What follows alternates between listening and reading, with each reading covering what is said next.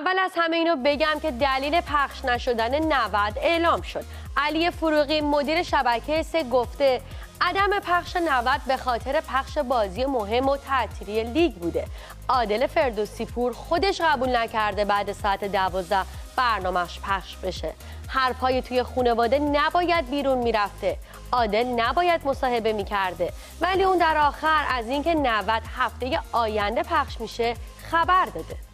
آقای فروغی ماجرای پیچیده برنامه 90 چیه 90 ماجرای پیچیده نداره دلیل اصلیش این بودش که بحثای داخل خانواده نباید بیرون بره به نظرم این که بحث بیرون رفت اصلا کار درستی میگم نداره بالاخره عادل فردوسی پور یک مجری حرفه‌ای دوست داشتنی است با یه برنامه‌ای که مخاطب میلیونی. داره. آیا شایسته است که با مثلا بگیم شما دو خط مصاحبه کردی برنامه هفته بعدت هم کنسلش؟ نه خب آقا اینم کامل ماجرا نه عادل فردوسی پور هم در مصاحبهش با رضا رشیدپور اولین واکنشش رو به این موضوع نشون داده ببین من رضا من الان خب نزدیک 20 ساله که بیش از 20 ساله که دارم تو صدا سیما کار می‌کنم یعنی تقریبا نصف عمرم. من واقعا فرزند رسانه هستم. به هر حال رضا خودت کار کردی سالهای سال تو رسانه کار کردی. تو هر مجموعه اختلاف سلیقه وجود داره اختلاف دیدگاه وجود داره. اصلا قرار نیست من و علی فروغی عزیز مثل همدیگه فکر کنیم دیدگاه مثل هم باشه. من فقط این- فقط خیلی جمله کوتاه بگم که من تماس تلفن دوستانه من با اسماعیل زاده شاید اینجوری برداشت بده میگم واقعا شاید واقعا سوء تفاهمی که آقا از طرف شبکه بعد 12 برو برنامه واقعا اصلا اینجوری نبود. یعنی اصلا یه گفتگو شاید خیلی بعد. منتقل شده؟ آره، بین دو سه. نفر بعد منتقل شده. بعد از تموم شدن سریال دلدادگان هواشی اون شروع شده. دلیلش هم اینه که پانتا بهرام تو قسمت آخر این سریال حضور نداشته. در نشست خبری سریال دلدادگان منوچهر هادی کارگردان این سریال دلیل نبودن پانتا بهرام رو توضیح داده. واقعا اگه میومد فینال کار یه چیز دیگه می‌شد. خستگی هممون در می‌رفت. خستگی در واقع مسئولین بچه‌ای که کار کردن.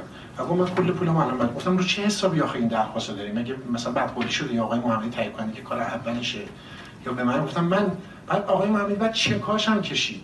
دو تا چک باقی مانده پولش حالا هر چقدر هست. دو تا چک آورد این برای یک ماه دیگه. اینم دومیش برای ماه بعد. دوباره من زنگ خانم برام چکاتم که اون نه می‌خوام که دیگه من گفتم آقای محمدی اگر خانم بهرام بیاد دیگه من میرم. بعد الانم که قسمت آخر پخش میشه تو اینستاگرامش پست می‌ذاره که آقا فینالی نبود. دیگه من نمی‌دونم. بعد از منتشر شدن صحبت های منوچهر هادی پانتا بهرام واکنش نشون داده و گفته به احترام مردم حاضر به همکاری با سریال دلدادگان. برای قسمت پایانیش بودم اما دوستان خودشون نخواستن. این در حالیه که از این مجموعه طلبکار هستم. اگر بازیگر چک شما را قبول نمی‌کنه به اعتبارتون شک کنید. البته علی فروغی هم به همین اتفاق واکنش نشون داده. نقشی که قرار بود در آخر سریال بیان به پایان بندی کار کمک بکنن سر اختلافات مالی نیومدن سر این از اتفاقات عجیب واقعا. یعنی ما بعد منظورتون خانم پانتا بهرامه؟ بله بله. خب آقا رو واقعا خواسته بود کار بدی نکرده نه این که حق. دارن این رو مطالبه بکنن و این حق طبیعی ایشونه. منتها اینکه کارم زمین بذارن اونم تو لحظه خلاصه نهایی و فینال کار اینم واقعا کار به نظرم درستی نبود این خیلی عجیب بود که بعد ایشون یه پستی گذاشتن که آره تلویزیون سانسور کرد و عقب جلو کرد و اینا انقدر شدید بود که آقای ایرج آقای محمدی و- سانسور کردین؟ اصلا هیچ خدا وکیلی.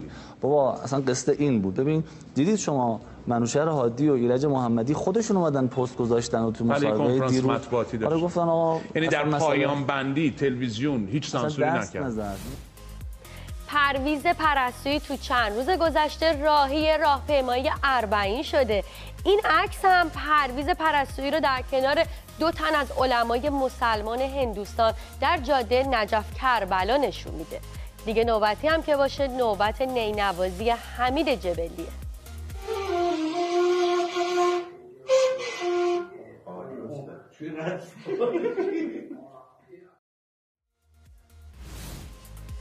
برمیگردیم با ادامه برنامه با سحر و مرسا.